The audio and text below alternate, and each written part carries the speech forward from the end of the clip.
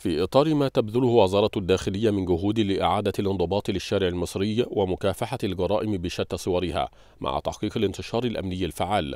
وجهت مديريات الأمن حملات انضباطية استهدفت القضاء على المظاهر السلبية بالشارع المصري وضبط كافة صور الخروج عن القانون.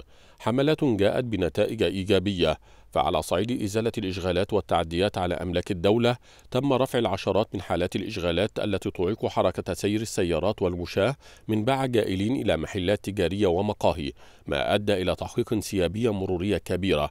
كما تم تأمين تنفيذ قرارات إزالة التعديات على أملاك الدولة والأراضي الزراعية بالتنسيق مع الجهات المعنية وتسوية هذه التعديات بالأرض إعمالا لمبدأ سيادة القانون.